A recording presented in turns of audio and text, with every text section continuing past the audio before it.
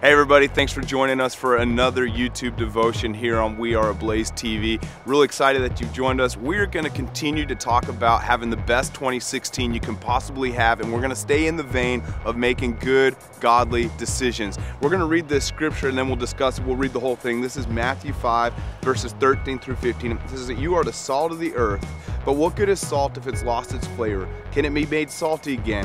Or will it be thrown out and trampled underfoot as worthless? Verse 14 says, that you are the light of the world, like a city on a hilltop that cannot be hidden. No one lights a lamp and then puts it underneath a basket. Instead, a lamp is placed on a stand where it gives light to everybody in the house. Notice in that scripture, he talked a lot about you are the salt of the earth. You are the light of the world. God has made you salt. God has made you light. But just because God's made you salt, just because God's made you light, that doesn't mean you're going to be light. That doesn't mean that you're going to be salty. We have to make decisions to be light. We have to choose to be salt in this earth. And when I was thinking about this and praying about it, the Lord kind of showed me by way of an example. This flashlight has everything that it needs to be a light. It has all the components. It has batteries on the inside of it. It has a light bulb. It's got a mechanism that a container that holds it all together and and it has this switch here that even allows it to produce light but you know just because it has all the components doesn't mean it's going to be light in order for all these components to come together and be activated to make light, somebody must still turn it on. And once it's turned on, then it becomes light. It's kind of like us. God has given us all these components to be light.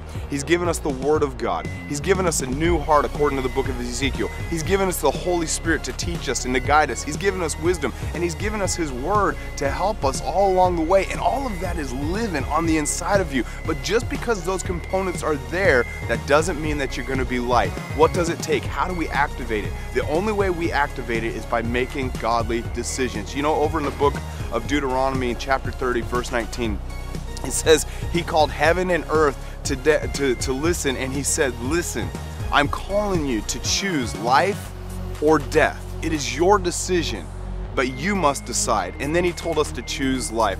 What are we saying? What is God saying? He's saying, I have given you all these components. I have made you to be an awesome force in the world in which you live. I've given you the best opportunity to have a fabulous 2016, to have an awesome 2016, to have the best year you've ever had, but you must choose life. You must activate these components that are on the inside of you by choosing to respond to God, by making godly decisions. Remember in Timothy, he said, I haven't given you a spirit of fear, but a power, love, and a sound mind. God has given you all the equipment. We, just as God's people, must decide to follow the word and decide to follow after God. Just think about this for a minute.